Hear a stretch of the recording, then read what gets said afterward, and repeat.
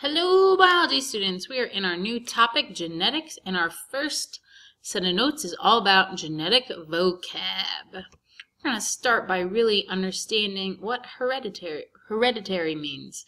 Um, heredity is the passing of traits which are attributes from parent to offspring. So, for instance, these two parents, they pass on their eye color trait, their hair color trait, which might seem weird given that this little boy has such different looking hair at this point. They pass on their height, etc. All of that is heredity. All right. Um, so in class, we're going to learn about an example of hand clasping, but this is another example that might be a good representation of a trait that would be passed on from parent to offspring. We're going to learn lots of other ones as well. But really, genetics is the study of this, how we pass on traits. Before we jump into genetics too far, we have to really give credit to the founder of genetics, which is this guy here shown pictured in many different ways, and you do need to remember his name and what he did. His name is Gregor Mendel. Gregor Mendel is considered the father of genetics. He predicted how traits are passed on from one generation to the next.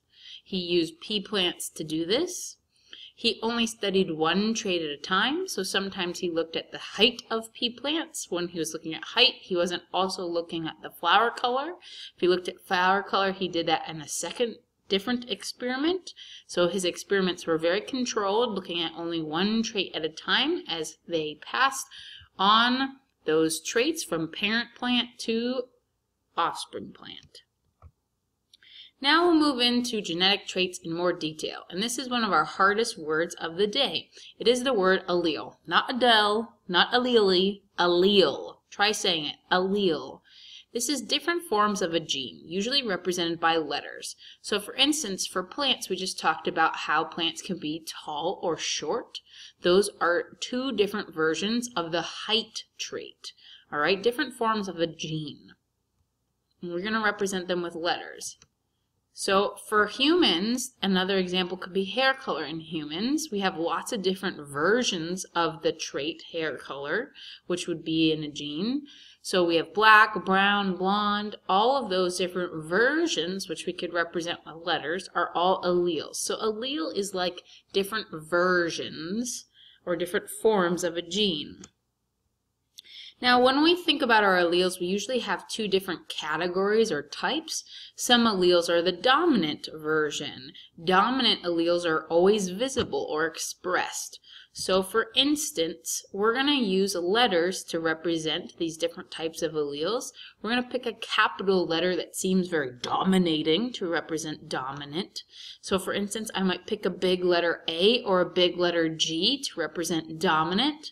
So for this guinea pig, this guinea pig, which is black, which is a version of fur color, and you should draw this as an example. Let's say we're going to pick big B to represent black. Um, and we would, that's how we would write it. So our version of this guinea pig's color is big B for black fur.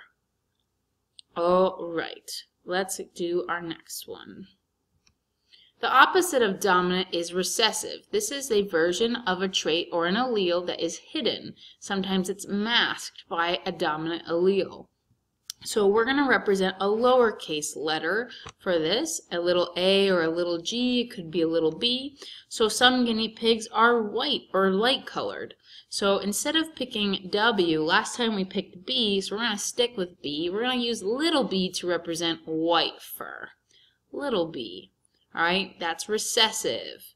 All right, it's hidden usually some of the time, or it can be hidden, but lowercase letter for recessive. So we know that we as humans are diploid, so we actually have two copies of each trait, uh, one from our mom and one from our dad. And so that makes allele combinations. Our first combination of alleles is called homozygous. Homo prefix means same. Two identical versions. So I like to call this pure or purebred. We have two examples here. We have homozygous dominant, big A, big A, or homozygous recessive, little a, little a. Both have the same letter in the same form, uppercase, uppercase, lowercase, lowercase. If I had one that was one uppercase, one lowercase, that's not called homozygous. Homozygous means same version. Okay? So for instance, for our guinea pigs, I could have a black fur guinea pig. It would be big B, big B because black fur was dominant. And for white fur guinea pig, I'd have little b, little b, white fur. All right, those are homozygous. They have the same letter in the same form twice, uppercase, uppercase, lowercase, lowercase. Wonderful job. Now, the opposite of homozygous is heterozygous. This is where I have two different alleles for the trait. We can call this a hybrid or a carrier. This is the form when I have one uppercase letter and one lowercase letter, or one that's dominant and one that's recessive. So we said the dominant things are always visible. So which letter is going to overshadow the other one? The uppercase letter. So in my guinea pig example, I'm going to have a big B, little b. What's my guinea pig going to look like? Is it going to look black or is it going to look white? It's going to look black because that little b, the white fur, is hidden or masked. So yes, that DNA is hiding in there, but we can't see the white fur. It's just genetics. Okay, we call this heterozygous, different alleles for a trait. So if you see black fur, can you be 100% sure of what its genes or alleles are? So we had two different examples with black fur. I can be black fur and I could be, what? I could be big B, big B, or I could be big B, little b. I could be homozygous, or I could be heterozygous. So to distinguish between this, we have two last words, comparing the genetics and comparing the physical appearance. The physical appearance we're going to call the phenotype. Pheno sounds like physical. Pheno, physical appearance. We represent this by word descriptions, such as this person for eye color has blue eyes. That's the physical appearance. Okay, for our guinea pig example, the physical appearance of this guinea pig versus this guinea pig is black versus white. That's phenotype. Now, what do you think we'd use to describe the genetics? Not phenotype, but genotype. These are the actual alleles or the actual genes. We represent genotype by letters. So here, my black fur guinea pig, remember, could be big B, big B, or could be big B, little b. Homozygous or heterozygous. Because both of these have at least one big B or dominant, and that will overshadow any recessive version. Now, am I going to have two options for my white guinea pig? No, I'm sure not.